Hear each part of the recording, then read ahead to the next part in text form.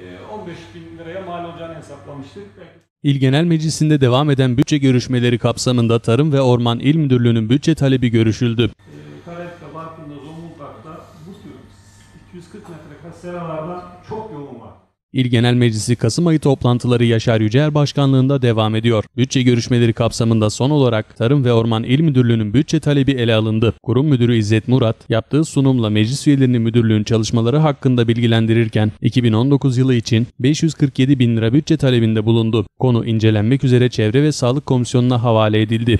240 metrekarelik tek parça tünel sera naylon örtülü. İçerisinde sulama sistemi, işte sulama damlama e, borular falan döşenmiş halde e, 15 bin liraya mal olacağını hesaplamıştık. Toplantıda ayrıca İl Afet ve Acil Durum Müdürlüğü'nün 2019 yılı bütçe talebiyle ilgili Plan ve Bütçe Komisyonu'ndan gelen raporda görüşüldü. Raporda kuruma 482.823 lira bütçe ayrılmasının uygun olduğu ifade edilirken konu nihai kararın verilmesi için tekrar Plan ve Bütçe Komisyonu'na havale edildi. Aslında bu sene kendi bütçemizden kısa bir şekilde aldık. Yani 1500 liralık bir rakam zannediyorum değil mi İsmail Bey? Aldık biz kendi bütçemize ilk geldiğimizde baharda. ikinci ürün Kasım ayı toplantılarının salı günü gerçekleşecek oturumunda İl Milli Eğitim Müdürlüğü'nün bütçe sunumu gerçekleşecek.